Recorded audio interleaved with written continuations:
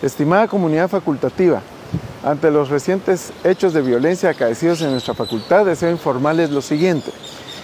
El mismo viernes en la noche, con el apoyo del Ministerio Público, se realizaron las inspecciones oculares en los tres lugares donde tuvimos incidentes y desde ese día se recabaron todas las evidencias factibles que teníamos a nuestra disposición.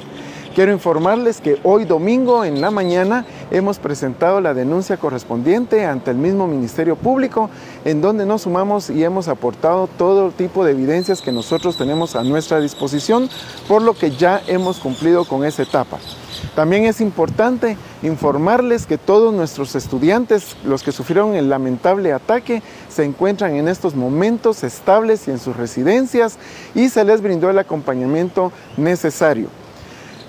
Por otro lado, creo que es momento de que todos reflexionemos y en ese sentido nosotros les queremos contar que seguimos trabajando, estamos tomando algunas decisiones importantes para el tema de seguridad. Sabemos que este ataque no fue contra todos los estudiantes, fue específicamente contra ciertas personas, en especial por ciertos tipos de intereses que puedan tener los inadaptados sociales que vinieron a hacer ese tipo de ataque, pero en ese sentido, comentarles que estamos generando ya algunas medidas de seguridad que vamos a estar implementando ya en los próximos días. Incrementaremos temas de seguridad, cámaras, circuito cerrado, temas incluso antiincendios, algunas decisiones administrativas que estamos generando para seguridad de todos.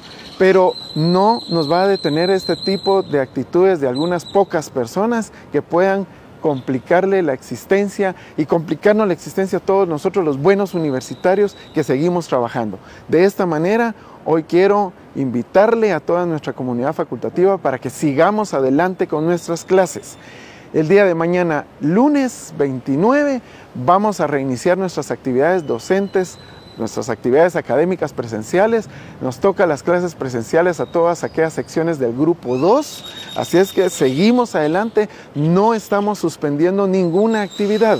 No lo suspendemos y por favor entonces sigamos con esa alegría, con esa responsabilidad que nos caracteriza a todos los verdaderos miembros de esta comunidad facultativa. Muchas gracias por atender este llamado.